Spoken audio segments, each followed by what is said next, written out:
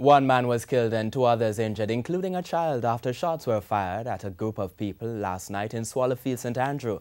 A seven-year-old female and her mother were among the injured. Police reports are that a group of people were playing dominoes in the community when gunmen attacked. The state of the seven-year-old and the mother are unknown. Uh, is un are unknown. Councillor for the Trafalgar Division, Kari Douglas, says the community has been struggling with violence and she's committed to working with the police to stem it out. I believe that is necessary is additional resources.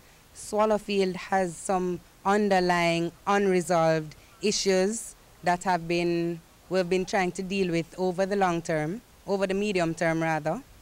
And I don't think we can any longer accept that there's just not enough resources. Persons need to be protected within this community persons need to have confidence in the authorities, the security forces, and the government by extension. And I believe that myself and the Member of Parliament have made effective representation on the community's behalf. And we really look forward to the additional support.